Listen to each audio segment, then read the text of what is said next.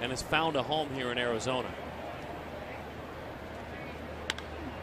Popped up, very shallow. Is it deep enough? Here comes Dyson. He makes the play. Here comes Kubel heading to the plate. The throw, the bounce, the tag, out at the plate. Jarrod Dyson hit his spot. Bruce Chen continues to frustrate the Diamondbacks.